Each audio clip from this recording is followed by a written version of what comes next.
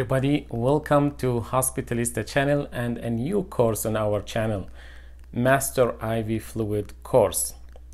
As part of your residency or practicing in a hospital, dealing with IV fluid, ordering IV fluid, adjusting IV fluid, discontinuing IV fluid as an everyday skill that you need. So it's a very essential skill that you need to master and know because you have you will be dealing with it on everyday basis. So how we're going to approach this course? Basically, there is a few questions we need to answer every time we think of IV fluid. And we're going to tackle these questions by one by one. And that way we will cover all this topic in a very practical way and to have a solid knowledge of IV fluid. Also bear with me because I'm still trying to keep the videos short and I'll try my best so you may not find your answer in one video. You need to watch the whole course to get all the knowledge hopefully you're looking for. Okay, whenever you think of ordering IV fluid, there is few questions you need to answer. The first, and I feel it's the very most important questions, is what you trying, what we trying to achieve with this IV fluid, which means why why we're ordering IV fluid. So that's the first one. After that is what type. You decide your goal of ordering IV fluid, then now what type of IV fluid? Now you decided the type, the next question is how much you want to give? A liter, two, three, four, five. And the question that follow that immediately is how fast, over how long you need to give the amount fluid and the last questions is when and how we're going to discontinue IV fluid. So these are the main questions. If you are able to answer these questions every time you're ordering IV fluid, then you are a master in IV fluid. Okay, the let's start with the very important questions.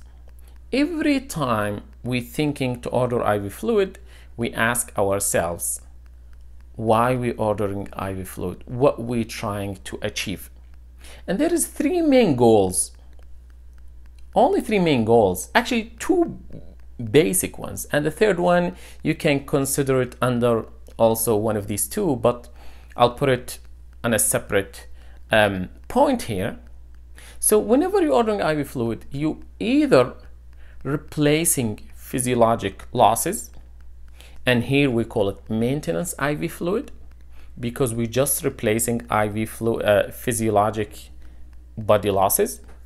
And when I say physiologic body losses, on every day, healthy people lose water and electrolytes with urine, stool, breathing, sweating, and it's estimated roughly to be around 1500 to 1600 cc.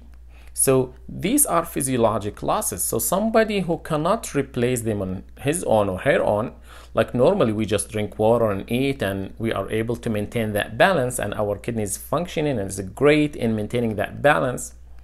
But let's say somebody who's NPO, fasting for a reason or another in the hospital, cannot eat, cannot drink, then that's when you start thinking about maintenance IV fluid which means you're replacing, you're trying to replace the physiologic losses uh, that can happen to anybody. Okay, so let's put it aside. That's maintenance IV fluid, replacing the physiologic fluid losses. The next thing is maybe this patient is having extra losses on top of his physiologic losses. Somebody with diarrhea, somebody with vomiting, uh, somebody who's third spacing from severe inflammatory process like acute pancreatitis, somebody in septic shock, somebody losing a lot of fluid with urine like DKA or non-ketotic hyperosmolar hyperglycemia, and etc. All these indications. Here you are losing way more than the physiologic losses. And here you try to replace all of that. Try to replenish that lost volume. Here we call it volume replacement or volume resuscitation. And this is the second indication for IV fluid. Replacing abnormal fluid losses. Fluid losses, you're trying to restore the intravascular volume. So that's what we call it volume repletion, resuscitation, or replacements. Now, you may wonder before we go into the third type, with maintenance IV fluid, you try to replace the your estimated electrolytes and your estimated water that we're losing in physiologic classes. But with volume resuscitation, we are here trying to restore the intravascular volume. So you can only guess that the volume replacement here has to be faster than maintenance IV fluid replacement. And also you need to give a kind of fluid that will stay in the intravascular volume or let me say the extracellular space. So you do not want to give a fluid that as soon as you give it, it goes intracellularly. So keep that in mind. Our goal is to replenish the intravascular volume as soon as possible with volume resuscitation. So it's going to be faster and you have to pick a fluid that remain in the extracellular space, mainly in the intravascular space. As you know, we have intracellular and extracellular, and the extracellular we have intravascular and interstitial and I'll stop. I don't want to go too much in physiology. Now the third type, which you may consider it could be could belong to one of these, is electrolyte replacement, somebody with severe hypokalemia, somebody with hypernatremia, hyponatremia, or somebody with, let's say, severe metabolic acidosis you're trying to treat uh, like a therapeutic IV fluid, like giving sodium bicarb in the IV fluid. So these are the three main indications. We're not gonna here talk about TPN or PPN.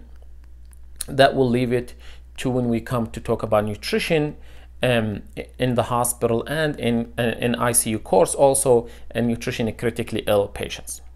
Okay, so to wrap this up, the answer for the first questions is what we're trying to achieve with giving IV fluid or why either maintenance or volume resuscitation or replacement or therapeutic repleting electrolytes or treating metabolic acidosis so these are the three main categories because based on what you're trying to achieve we come to the next questions is what type of IV fluid and I'll talk about this in our next video.